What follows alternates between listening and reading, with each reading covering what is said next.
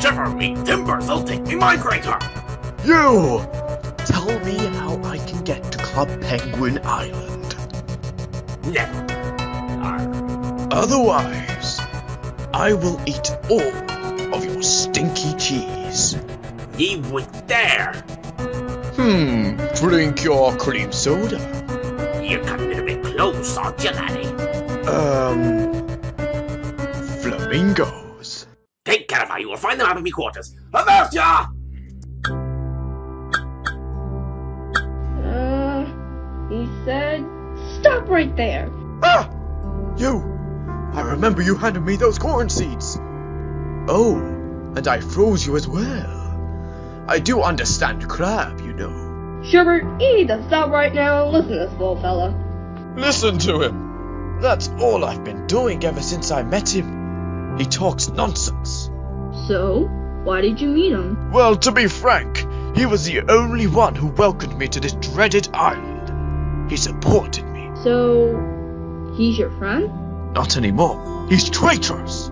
You've got it all wrong. Excuse me? You've clearly been using Klutzy to make you feel better about yourself. Well, I tend to use a lot of people. Yes, that's right, Klutzy. So, you felt bullied and lost. Then you bullied this poor and innocent crab to make you feel better?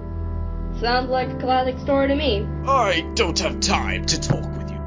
Look into this mirror. Well, if you insist.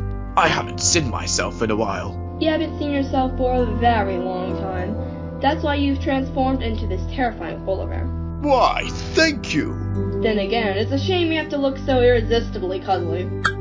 Yes, Klutzy, I'm looking. I see a very vicious polar bear. Oh, wait, that's me. Hmm, that's strange. That's not what I see. Well, perspective is quite an issue. What do you mean, Klutzy? He's scared of you, Herbert. How sad is that? Look into the mirror again. No need to be bossy. What happened? Why am I adorable? Because you are. You've been shaping yourself to be a villainous polar bear, but that's not who you really are. Your fear of becoming weak again has overridden your brain. Uncle Penguin, we always love to help. You are a lost polar bear who needs some good friends. Klutzy has been a great friend to you, and now you're gonna throw him away?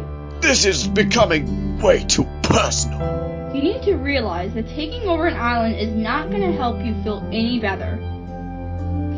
You need to take a step back and be who you are. The EPF have always felt sorry for your unfortunate upbringing. But if you give us a chance, we can help you. We're the EPF. We solve problems and restore peace. I am sorry, Klutzy. I.